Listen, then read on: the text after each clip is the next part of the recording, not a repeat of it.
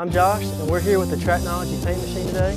Uh, just a couple of components and pieces that go into making this paint solution. Our auto steering component, an iPad, and a joystick inside the cab. And then moving back here, we've got an antenna that pulls GPS RTK signal as soon as we activate the system. So it begins pulling that as soon as we pull it off the trailer and get ready to go. We've got our SportsTraq paint skid in the back with a 25 gallon tank and the arm that comes out the side that allows us to paint uh, out the side of the Gator so what I'm gonna do is I'm gonna set up this field. I'm gonna set my two coordinates, one on this corner of the field, I'm gonna drive to the other. The whole time the iPad is gonna be telling me what, what to do and how to set things up. Uh, and then we're gonna paint a straight line.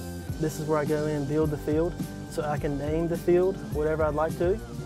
Uh, in the location, um, I select the sport and the size and the, the template that I need.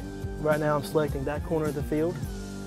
That's going to tell me to drive to the start point, which I'm there.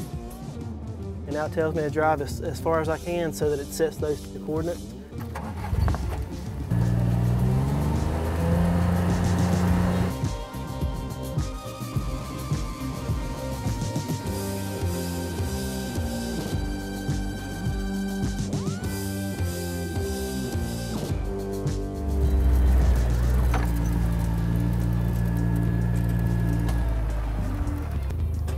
So now that my field is built from left to right, uh, it's already, the dimensions are already set. So all I'm gonna do now is to get the gator in line and engage auto uh, so that it gets me on that line to build, to, to paint the, the straight line.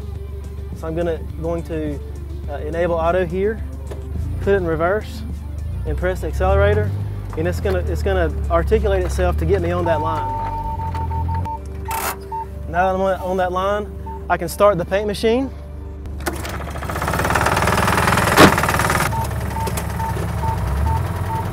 Back up again to make sure I'm on that line.